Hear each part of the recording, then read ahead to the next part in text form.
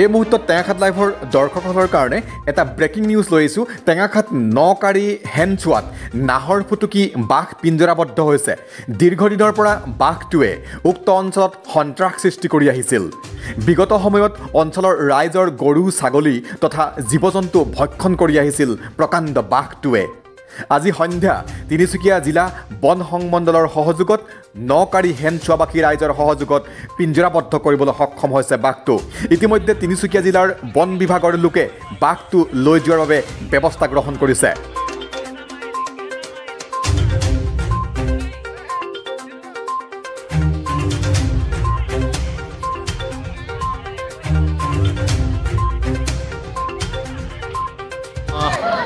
আজি আমাৰ এই নকাৰী হেঞ্চৰ গাঁৱত এটা ভাল মানে হেৰি হ'ল যে তিনিচুকীয়া বন বিভাগৰ লগত আমাৰ স্থানীয় ৰাইজক সহযোগ কৰাৰ পাছত আমাৰ ৰাইজে মানে এটা পিঞ্জৰাৰ এটা নাহৰ প্ৰতীকী বাঘ আবদ্ধ কৰিবলৈ হ'ল।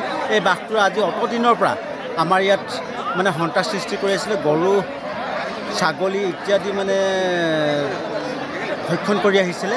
তো এই ক্ষেত্ৰত আমাৰ স্থানীয় ৰাইজে তিনিচুকীয়া বন বিভাগৰ লগত সহযোগ কৰাৰ পাছত আমাৰ ইয়াত মানে এটা পিঞ্জৰাৰ ব্যৱস্থা কৰিলে আৰু সেই পিঞ্জৰা আজি বাঘটো পিঞ্জৰাবদ্ধ হ'ল। গতিকে আমি তিনিচুকীয়া বন বিভাগক আমি ধন্যবাদ জনাইছোঁ। তেখেতসকলে আমাৰ এই বাঘটোক মানে ধৰি বন বিভাগক গোটাই দিয়াৰ বাবে অনুৰোধ জনাইছোঁ। পুনৰ কৈছোঁ ব্ৰেকিং নিউজ। টেঙাখাত নকাৰী হেনচোৱাত নাহৰ ফুটুকি বাঘ পিঞ্জৰাবদ্ধ হৈছে। দীৰ্ঘদিনৰ পৰা বাঘটোৱে উক্ত অঞ্চলত সন্ত্ৰাস সৃষ্টি কৰি আহিছিল। বিগত সময়ত অঞ্চলৰ ৰাইজৰ গৰু ছাগলী তথা জীৱ জন্তু ভক্ষণ কৰি আহিছিল প্ৰকাণ্ড বাঘটোৱে। আজি সন্ধ্যা তিনিচুকীয়া জিলা বন সংমণ্ডলৰ সহযোগত নকাৰী হেনচোৱাবাসী ৰাইজে পিঞ্জৰাবদ্ধ কৰিবলৈ সক্ষম হৈছে উক্ত প্ৰকাণ্ড বাঘটো। ইতিমধ্যে তিনিচুকীয়া জিলাৰ বন বিভাগৰ লোকে বাঘটো লৈ যোৱাৰ বাবে ব্যৱস্থা গ্ৰহণ কৰিছে।